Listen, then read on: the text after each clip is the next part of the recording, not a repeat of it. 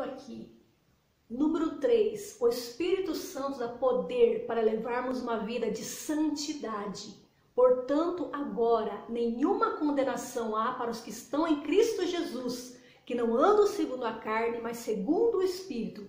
Porque a lei do Espírito de vida em Cristo Jesus me livrou da lei do pecado, do Espírito, do pecado da morte. Porque se viverdes segundo a carne, morrereis.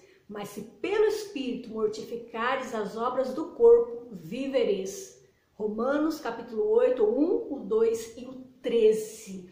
Então, terceiro aqui, continuando, o Espírito Santo nos dá poder para levarmos uma vida de santidade. É isso que Deus faz na nossa vida. Aqui vou compartilhar com vocês o que Deus falou no meu coração quando nós estávamos fazendo o estudo das armaduras de Deus. Eu registrei aqui, eu vou compartilhar com vocês. Oração em línguas, ou oração sobre a palavra de Deus, é comunhão com o Espírito Santo. Então eu preciso orar. Eu preciso orar sobre a palavra. Aí você pode perguntar, mas então é só a oração em línguas que Deus responde? Deus ele responde a oração que é feita dentro da palavra dele. Você pode orar em línguas, em outras línguas, conforme o Espírito Santo lhe conceder que você fale.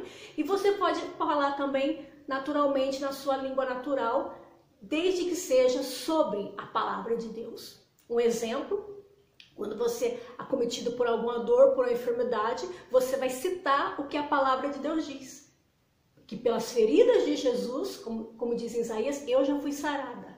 Então você vai citar a palavra com a sua língua natural, ou seja, a sua palavra, não sozinho, mas juntamente com a palavra de Deus. Você vai orar sobre a palavra de Deus e tem também a oração em línguas, que é aquela oração do sobrenatural, onde o Espírito Santo ele vem nos dar a direção certa para recebermos aquilo que estamos precisando, atender nossa, as nossas orações.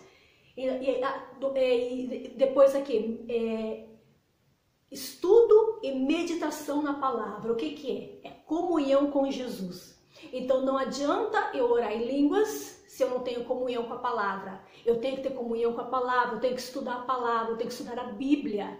Eu preciso, porque a Bíblia é a espada do Espírito. A palavra de Deus é a espada do Espírito. Então o Espírito ele tem que estar com a espada.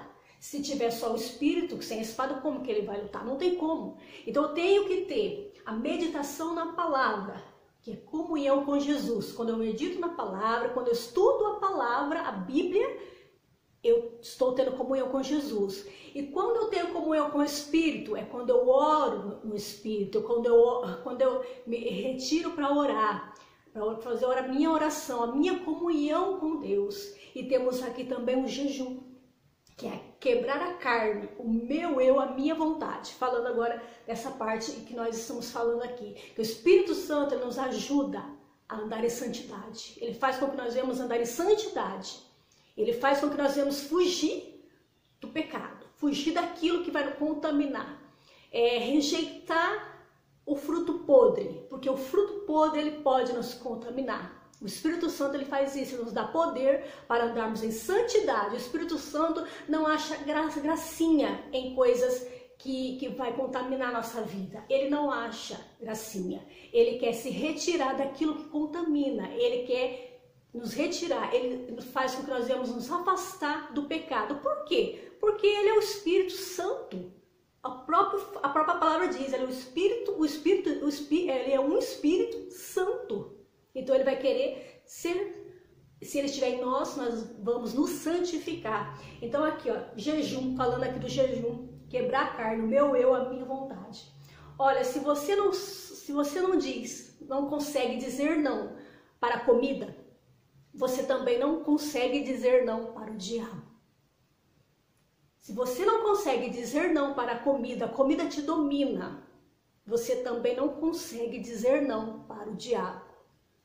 Fica aquela, aquela comida lá, aquele biscoito lá no pacote. Ele diz: Eu estou aqui, eu estou aqui. Enquanto você não vai lá, não come até, até fica só o pacote, o pacote vazio, a sua carne ali não sossega. Então tem que quebrar carne, tem que jejuar, tem que se consagrar a Deus. Então são esses três. Nós precisamos ter esta comunhão com Deus, meditação na palavra, estudo na palavra, comunhão com Jesus, comunhão com o Espírito, oração. Me separo para me consagrar, para orar, para buscar a presença de Deus, é comunhão e o jejum, a quebra da minha carne, do meu eu e da minha vontade. Esses são os passos de nós andarmos em santidade com Deus. E falando do, desse vídeo, compartilhando com vocês o terceiro passo. Pra, é, é que, porque eu preciso receber o Espírito Santo? Porque ele vai me ajudar a andar em santidade. Porque a Bíblia diz: sem santidade ninguém vai ver a Deus. Então eu quero andar em santidade e que essa série edifique você. E lembrando, essa série completa, nós temos uma playlist aqui do canal, série Batismo com o Espírito Santo e com Fogo. Você quer se aprofundar mais nesse estudo? Olhe lá, vai lá na série lá do canal, da playlist, série Fogo, Batismo com o Espírito Santo. E se aprofunde mais em conhecer a vontade de Deus, que é boa, perfeita e agradável para mim e para você no nome de Jesus. E mais o Espírito Santo ele vai te acrescentar, vai falar mais no seu coração no nome de Jesus. Deus abençoe a todos vocês.